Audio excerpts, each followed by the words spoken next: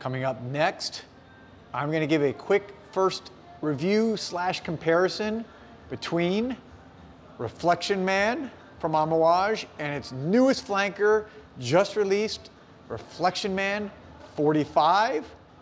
Which one? Well, it's not gonna be a full review, but I'm gonna tell you the differences, what I think off the initial smells right now. I'm actually gonna smell this new 45 for the very first time.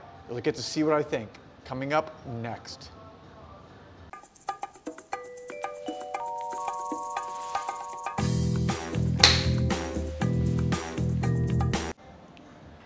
Welcome everybody to Joel the Nose. Thank you for watching. Thank you for subscribing if you already have. If not, please go ahead and subscribe now. I'll give you a second before I move on with the video. I appreciate all your guys' support. Okay, let's get right into this. You know, uh, a lot of you may have known or know that uh, Amouage, the Oman-based niche perfume house, one of the most famous and I would say best in the world has released a new fragrance. And Reflection Man, this is their original fragrance, has been around for a while. This is a fragrance that is actually one of my favorites from their house because, let me just talk about it real quick here.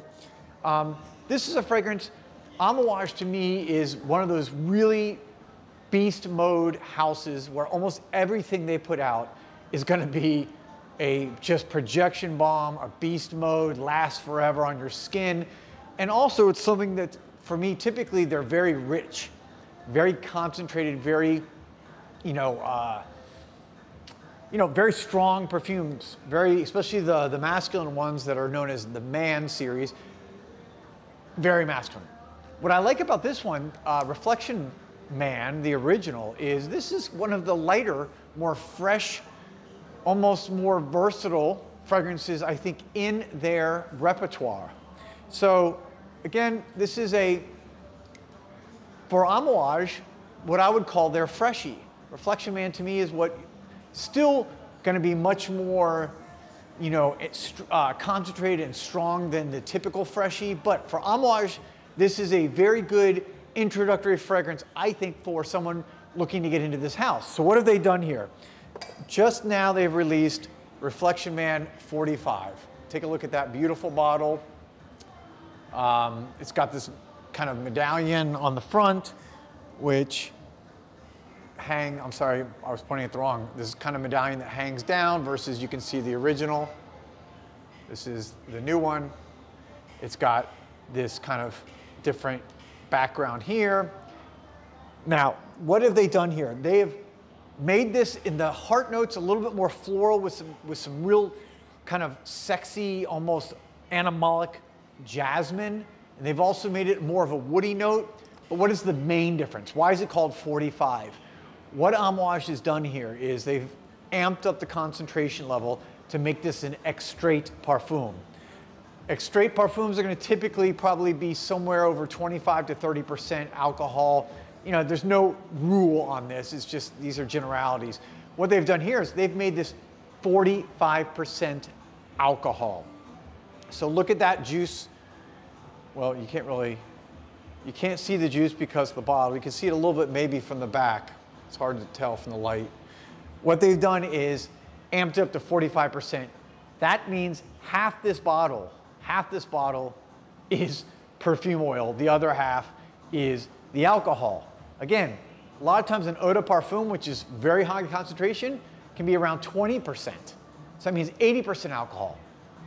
You heard it, 45% alcohol in this baby. What does that mean for you, for the perfume wearer, for the person who loves this? It's gonna be typically, again, the higher concentration means you're gonna be longer on your skin because there's more perfume oil there. So that means more of it has to wear off and dry off throughout the day. It also means it's gonna smell differently for every person because the more concentrated and the more perfume oil there is, the more that interacts with your individual oils on your skin, your DNA, your immune system, which produces your smell. So this is gonna be, I think, a more, I would say, volatile smelling fragrance, meaning it's gonna smell differently for different people, okay?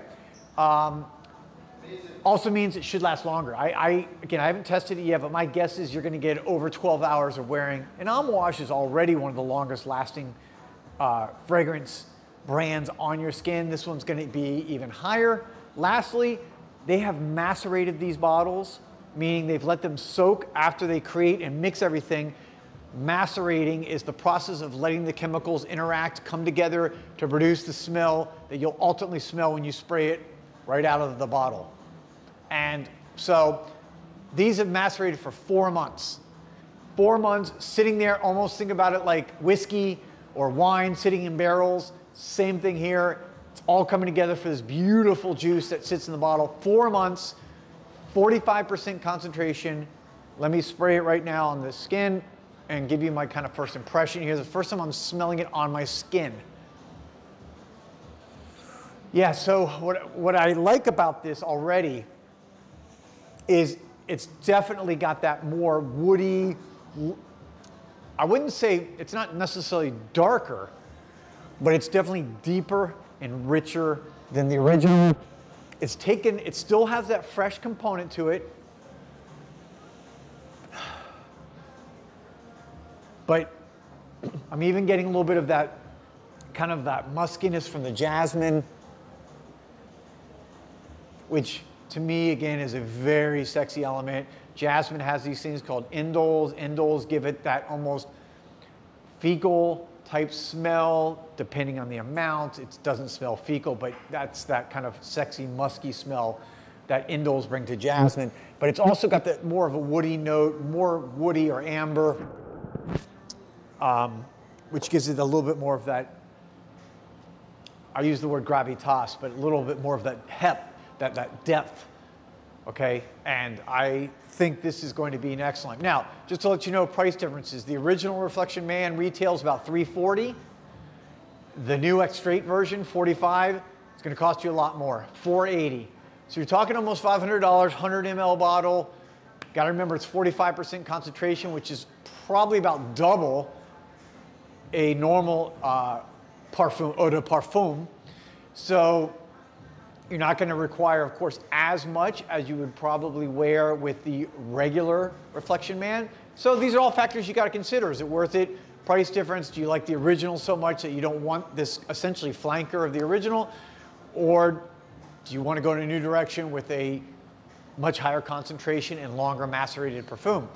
I think this is going to be a perfume for the collector, for the niche fan who, you know, loves the original, loves the brand, and wants to try something where they've just amped it up in the concentration level, the maceration process, and changing some of the notes around to give it a different feel. I think this is gonna be for the true niche fan and true collector who wants a brand new Amouage because they love the brand and they love this particular series, Reflection Man. So it's excellent. I'll do a full review later, but like I said,